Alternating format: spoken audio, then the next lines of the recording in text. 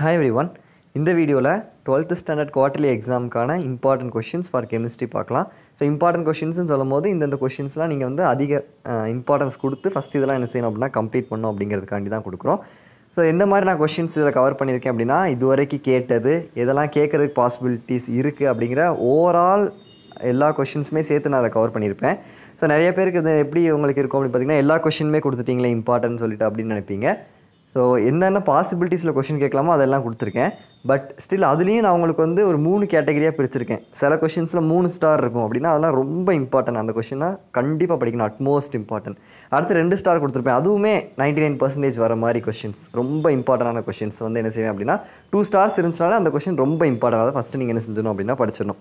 Next one star சில கொஷின்ஸில் இருக்கும். அதெல்லாம் ஒரு மாடரேட்டாக இது வரைக்கும் ஒரு வாட்டியோ ரெண்டு வாட்டியோ அந்த மாதிரி என்ன செஞ்சிருப்பாங்க அப்படின்னா கேட்டிருப்பாங்க. அந்த மாதிரி கொஷின்ஸ் சில கொஷின்ஸில் ஸ்டாரே இருக்காது. அப்படின்னா அது கேட்கலாம் பாசிபிலிட்டிஸ் இருக்குது ஆனால் அந்தளவுக்கு ரொம்ப இம்பார்ட்டன்ட் இல்லை. அது மாதிரி ஓவராலாக கேட்கக்கூடிய எல்லா கொஷின்ஸுமே நான் அதில் கவர் பண்ணி கொடுத்துருக்கேன். ஸோ இம்பார்ட்டன்ட் அப்படிங்கிறத தாண்டி ஒரு கொஷின் ஒரு லெசன் எடுத்துட்டோம் அப்படின்னா கொஷின் பேங்க் மாதிரி என்னென்ன கொஷின்ஸ்லாம் கேட்க பாசிபிலிட்டிஸ் இருக்குங்கிறத நான் கொடுத்துருக்கேன்.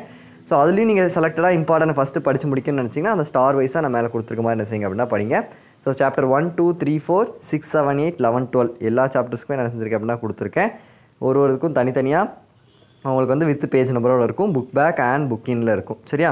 ஸோ இந்த பிடிஎஃப் வந்து உங்களுக்கு எங்கே கிடைக்கும்னா நான் டிஸ்கிரிப்ஷன் லிங்க் வச்சுறேன் ஸோ அந்த லிங்க்கை போய் நீங்கள் டச் பண்ணி டேரெக்டாக இந்த என்ன செஞ்சலாம் அப்படின்னா இந்த பிடிஎஃபை டவுன்லோட் பண்ணிடலாம். ஸோ கொஷின்ஸ் நிறையா இருக்க மாதிரி ஃபீல் ஆச்சு அப்படின்னா first complete the most important question and go to any other questions சரியா? ஸோ ஐ ஹோப் இது உங்களுக்கு யூஸ்ஃபுல்லாக இருக்கும்னு நினைக்கிறேன்.